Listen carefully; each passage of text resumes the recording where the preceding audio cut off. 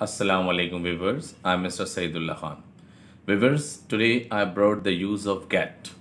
आज हम get के यूज़ सीखेंगे get एक ऐसा वर्ड है जिसके डिफरेंट यूज़ हैं कई पॉसिबल यूज़ जो मैं आपके सामने लेकर आया हूँ और भी बहुत से हो सकते हैं लेकिन जो मेरी नज़र में आए वो मैं आपके सामने लेकर आया हूँ इन आज हम गेट का यूज़ सीखेंगे और इसमें हमें बहुत सारी ऐसी इन्फॉर्मेशन मिलेगी जो शायद पहले हम गेट के बारे में ना जानते हों।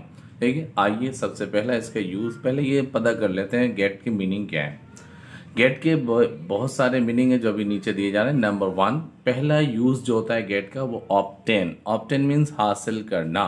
ठीक है? अब देखिए, अगर पहला यूज़ ऑप्टेन में लिया जाए तो पहला यूज़ है इसमें I need to get some files from the archives some file from the archive archives computer में एक ऐसी ड्राइव वो क्या कहते हैं, चीज़ है जिसमें आपकी फ़ाइल जो है हिडन हो जाती है। फिर आप उसे हासिल कर लेते हैं। जैसे दस बिन बिन में चली जाती है, ठीक है ना? इसी तरह है। तो अब देखिए इसमें गेट का use I need to get some files from the archive I need to get यानी ऑप्टेन मुझे हासिल करनी है। देखिए number two can you get some paper from the cupboard क्या तुम कुछ पेपर्स कबर्ड से हाँ, ले सकते हो? अब देखिए ऑप्टेन ऑप्टेन मतलब हासिल करना। देखिए पहला यूज़ हमने सीखा ऑप्टेन का ठीक?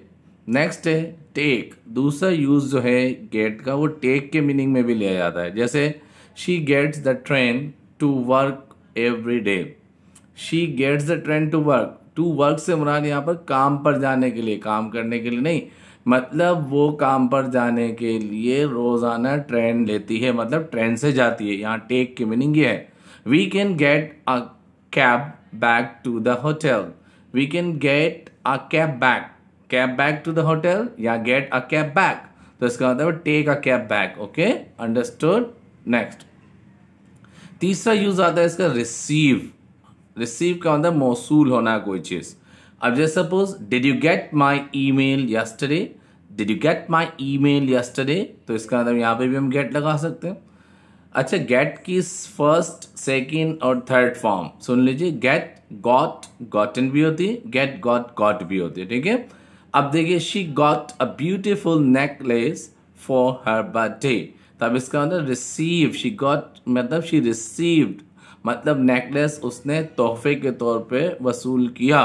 मौसूल हुआ। जैसे हम कहते हैं I got your telegram I got a message तो इसमें ये मीनिंग होगा, ठीक है? तो दूसरा यूज़ तीसरा यूज़ हो गया receive now use number four buy मतलब खरीदना।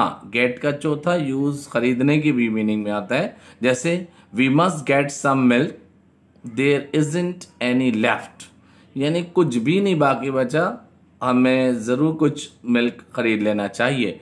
तो ये देखिए we must get some milk अब ऐसे गेट नहीं है कि जाकर ले लिया, खरीदने की सेंस में भी है। अब ये सेंटेंस पर सिचुएशन पर डिपेंड करता है कि आप किस सिचुएशन में, किस सेंटेंस में इसको यूज़ कर रहे हैं, ठीक है? Shall we get some fruit too अब देखिए, क्या हम कुछ फ्रूट भी खरीद लें? अब यहाँ गेट के मीनिंग खरीदने के। नेक्स्ट बिकम गेट की मीनिंग बिकम के भी होते हैं। जैसे सपोज़ हमारे पास है it's getting colder put on your jacket अब देखिए, ठंड बढ़ती जा रही है, यानी ठंड हो रही है जैकेट पहन लो। इसी तरह you can get better at English by practising तुम बेहतर हो सकते हो, यानी मतलब बेहतर बन सकते हो इंग्लिश में प्रैक्टिसिंग करके, यानी अमल करके प्रैक्टिस करके बार बार दोहराई करके। अब देखिए, इसमें यूँ भी हो सकता है बिकम के मायने में, जैसे अभी हमने कहा कि your tea is getting cold आपकी चाय ठंडी हो रही है मतलब हो रही है बिकम माने होना, बनना।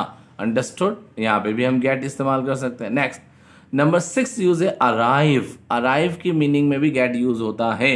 देखिए they left at four thirty and got home at five thirty घर से निकले चार तीस पे और पहुँचे पाँच तीस पर। अब देखिए they we sorry when do you think you will get here when do you think you will get here हाँ भाई, आपका ख्याल क्या है? कि आप कब तक यहाँ पहुँचेंगे? अब देखिए, पहुँचना। तो गेट के छठे मीनिंग पहुँचने को गए। नंबर सेवेंथ अंडरस्टैंड किसी चीज़ को समझने में भी आता है। जैसे I didn't get what he said did you मैं नहीं समझ पाया जो उसने कहा। क्या तुमने समझा? ये मीनिंग है इसके। Got the jacket but I didn't he got the jacket but I didn't sorry he got the joke not jacket I am sorry देखिए he got the joke but I didn't वो मज़ाक समझा, लेकिन मैं नहीं understood देखिए meaning इसके समझने में भी होता है। नेक्स्ट हमारे पास है मेक समथिंग हैपन यानी किसी चीज़ को करने की कॉज बनना, ये भी है, कोई चीज़ होना। अब जैसे suppose you should get your hair cut तुम्हें अपने बाल कटवाने चाहिए। कॉजेटिव वर्ब में भी इस्तेमाल होता है। इट्स रियली लॉन्ग तो you should get your hair cut अब देखिए इसमें कट अब यहाँ गेट में जो वर्ब इस्तेमाल हुआ है, यहाँ पर cut as a third form इस्तेमाल हुई, ठीक है? यहाँ पर। Next we are getting the car check before our holidays holiday हमें, यानी हम हॉलीडे से पहले अपनी कार चेक करवा रहे हैं, ठीक है? अब देखिए वाना की सेंस में पॉजिटिव वर्ब है।